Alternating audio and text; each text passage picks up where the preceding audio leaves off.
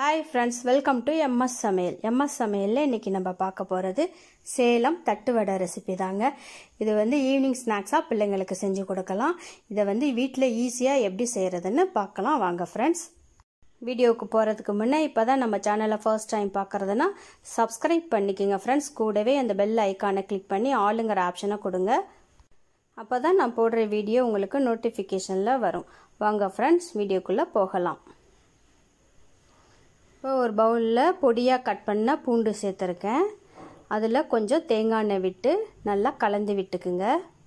இப்போ நம்ம சாயந்தரமாக இந்த தட்டு வடை செய்கிறோன்னா காலையிலேயே இந்த பூண்டை கட் பண்ணி தேங்காய் எண்ணெயில் ஊற வச்சிடணும். இது வந்து நல்லா ஊறினா தான் நல்லா டேஸ்ட்டு கொடுக்கும். இப்போ இது நல்லா ஊறட்டும்.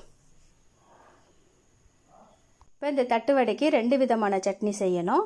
ஒன்று கொத்தமல்லி சட்னி இன்னொன்று கார சட்னி. ஃபஸ்ட்டு கொத்தமல்லி சட்னியை ரெடி பண்ணிடுவோம் ஒரு மிக்சி ஜாரில் கொத்தமல்லி சேர்த்துக்குங்க. கூடவே நாலஞ்சு பச்சை மிளகாய் சேர்த்துக்குங்க. ஒரு அஞ்சு பல் பூண்டை உரித்து சேர்த்துக்குங்க. கொஞ்சம் புளி சேர்த்துக்குங்க. இது பைண்டிங் ஏஜென்ட்டுக்காக கொஞ்சம் வேர்க்கடலை அல்லது பொட்டுக்கடலை ஏதோ ஒன்று சேர்த்துக்குங்க. இதுக்கு தேவையான அளவு உப்பு சேர்த்து இதை வந்து நல்லா அரைச்சி எடுத்துகிட்டு வந்துடுவோம் இப்போ ஒரு கடாயை அடுப்பில் வச்சுக்கோங்க. கொஞ்சம் நல்லெண்ணெய் விட்டுக்குங்க.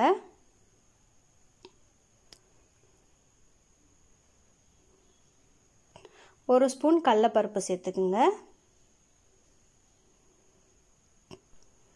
கடலப்பருப்பு நல்லா பொரியட்டும்.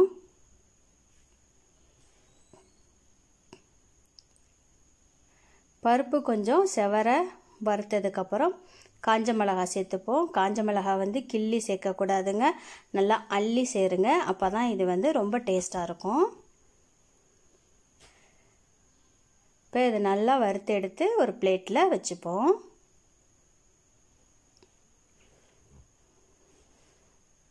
இப்போ இது நல்லா வறுபட்டுருச்சு. ஒரு பிளேட்டில் எடுத்துப்போம். இப்போ அதே கடாயில் நான் இன்னும் கொஞ்சம் எண்ணெய் சேர்த்துக்கிறேன். இப்போ பொடியாக கட் பண்ணி வச்ச வெங்காயத்தை இதில் சேர்த்துக்கிறேன். உங்களுக்கு எந்த அளவு சட்னி வேணுமோ அந்த அளவுக்கு நீங்கள் வெங்காயம் சேர்த்துக்குங்க. நிறைய வேணும்னா நிறைய சேர்த்துக்குங்க. கொஞ்சமாக இருந்தால் போதும்னா கொஞ்சமாக சேர்த்துக்குங்க. இப்போ அதை நல்லா வதக்கி விட்டுப்போம்.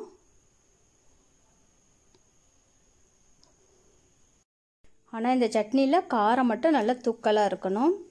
இப்போ நான் ஒரு பெரிய தக்காளி பழத்தை கட் பண்ணி சேர்த்துருக்கேன். சின்ன சைஸாக இருந்தால் ரெண்டு சேர்த்துக்குங்க.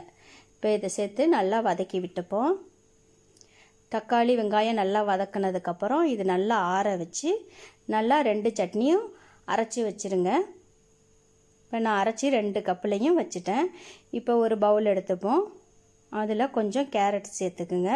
துருவின கேரட் அதே போல் துருவின பீட்ரூட் அதே போல் பொடியாக கட் பண்ண வெங்காயம்.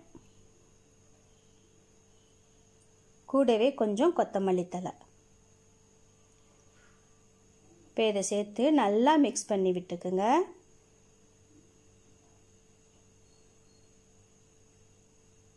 இப்போ இது எல்லாத்தையும் நல்லா கிளறி எடுத்து வச்சுப்போம்.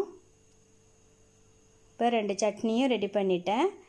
இப்போ இது வந்து தட்டு வடை வந்து நான் ரெடிமேட் பேக்கெட் தான் எடுத்திருக்கேன். அதில் ஒன்று எடுத்து இந்தமாரி சிகப்பு சட்னியை தடவிப்போம். அதுக்கு மேலே நம்ம கலந்து வச்சுருக்க கேரட் பீட்ரூட் கலவையை இதில் எடுத்து வச்சுப்போம். அதுக்கு மேலே ஊற வச்சோம் இல்லையா பூண்டு அந்த எண்ணெயை இது மேலே சேர்த்துப்போம்.